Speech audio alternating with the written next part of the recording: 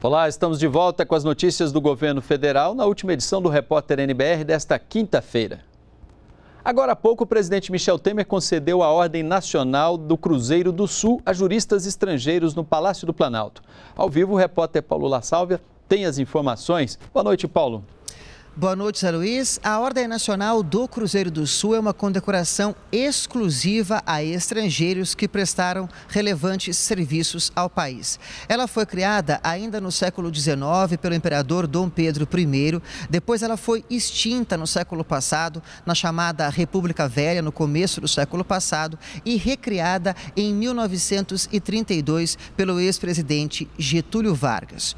E mais cedo, também aqui no Palácio do Planalto, o presidente Michel Temer comentou a decisão liminar, ou seja, provisória, do ministro Teori Zavascki do Supremo Tribunal Federal em relação à Operação METES. Deflagrada na sexta-feira da semana passada, a operação investiga a suposta participação de policiais do Senado na tentativa de obstruir a Operação Lava Jato contra parlamentares, principalmente senadores. A decisão de Teori Zavascki foi motivada porque a Operação METES foi autorizada por um juiz de primeira instância, o que é vedado pela Constituição Federal. Segundo a Constituição, ações em outros poderes só pode ser autorizada pelo Supremo Tribunal Federal.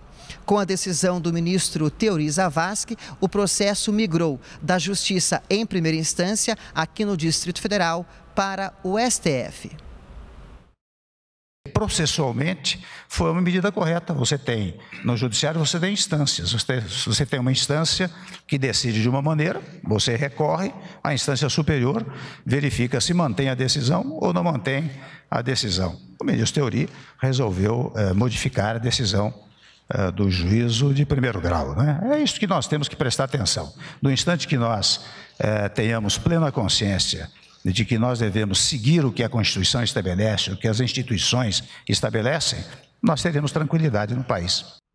E nesta sexta-feira ocorre no Itamaraty uma reunião que vai envolver os chefes dos três poderes: o presidente Michel Temer, os presidentes da Câmara Rodrigo Maia e do Senado Renan Calheiros e a presidente do Supremo Tribunal Federal Carmen Lúcia. O assunto: a segurança pública no país. A ideia é traçar um panorama sobre o setor e propor as primeiras ações em relação à área. Eu volto com você no estúdio, Zé Luiz. Obrigado, Paulo La Sálvia, pelas informações. Boa noite para você. E antes da cerimônia de entrega da Ordem Nacional do Cruzeiro do Sul, também no Palácio do Planalto, o presidente Temer, acompanhado do ministro das Relações Exteriores, José Serra, recebeu as credenciais de embaixadores de 11 países. A solenidade marca o reconhecimento do governo brasileiro à atuação de um embaixador estrangeiro em território nacional. O primeiro embaixador a entregar credencial nesta quinta-feira foi o da Itália, Antônio Bernardini. A Itália está entre os dez principais parceiros comerciais do Brasil. Em 2015, o intercâmbio comercial bilateral alcançou a cifra de quase 8 bilhões de dólares. Também entregou credencial o embaixador da Guiana, George Talbot. A relação entre os dois países foi ampliada na década de 90, com o aumento do número de brasileiros que passaram a residir no país vizinho. Estima-se que a comunidade brasileira que mora na Guiana seja de 15 a 20 mil pessoas. Os principais temas da relação bilateral são integração e desenvolvimento de infraestrutura. O embaixador da Bélgica, Dirk Lonk, também entregou o credencial ao presidente Michel Temer. A cooperação educacional é uma prioridade no relacionamento entre os dois países, com destaque para o programa Ciências Sem Fronteiras. Também foi entregue credencial pelo embaixador de Belarus, Alexander Serkovski. O Brasil importa de lá grandes quantidades de cloreto de potássio e exporta principalmente fumo e açúcar. O embaixador George Virchow, da Alemanha, também entregou o credencial nesta quinta-feira. A Alemanha é o principal parceiro comercial do Brasil na Europa. As exportações brasileiras para lá em 2014 foram de mais de 6 bilhões e meio de dólares. Ciência Tecnologia e inovação são importantes setores das relações entre os dois países. Outro embaixador foi Brian Bowler, do Malawi. A cooperação entre os dois países envolve diálogo sobre políticas públicas em matéria de HIV/AIDS e agricultura. O sétimo embaixador foi Jorge Tito Nogueira Cabral, de Portugal. O comércio entre os dois países cresceu nos últimos anos e iniciativas em inovação, biotecnologia e energia foram firmadas recentemente.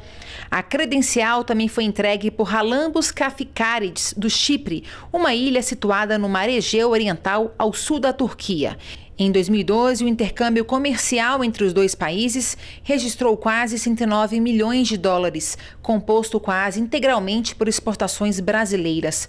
O próximo embaixador foi Tara Pokarel, do Nepal. As relações diplomáticas entre os dois países começaram em 1976 e os potenciais de cooperação são nos setores agrícola, educacional, energético e de saúde.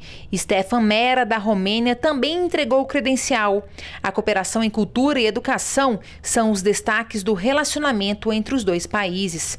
Por último, foi o embaixador do Peru, Vicente Escalante. A integração em infraestrutura e em temas sociais estão entre os principais objetivos da aliança estratégica entre os dois países. E segunda-feira começa a transmissão da nova Voz do Brasil. Confira as novidades. Segunda-feira, dia 31, você, cidadão, vai ouvir aí na sua cidade uma nova Voz do Brasil.